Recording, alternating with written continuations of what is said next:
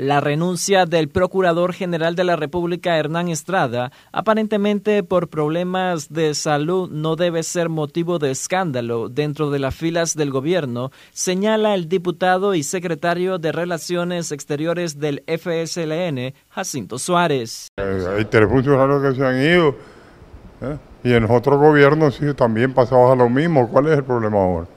Bueno, ellos alegan que por problemas de salud, pero... el gobierno tiene renuncia. No hay nada que escandalizarse.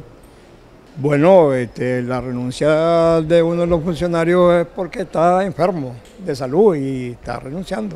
Bueno, los diputados opositores dicen que temen de ser sancionados por el gobierno de Estados Unidos. Yo creo que no. Es evidente que están enfermos. En el caso del procurador Hernán Estrada. No desconozco eso. Bueno, señalan que es por temor a ser sancionado por el gobierno de Estados Unidos. Eso desconozco eso.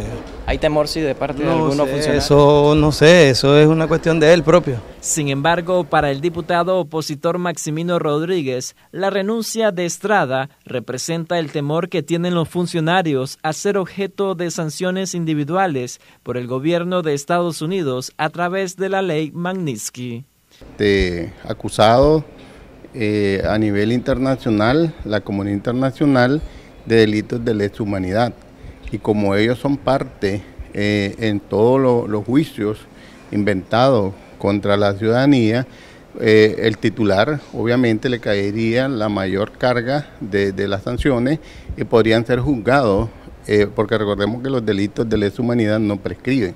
En consecuencia, eh, pueden ser juzgados indistintamente que haya renunciado, si, si se llega el momento de una acusación por delitos de lesa humanidad, igual va, va a tener que ir a la cárcel por infractor de los derechos inalienables de los nicaragüenses.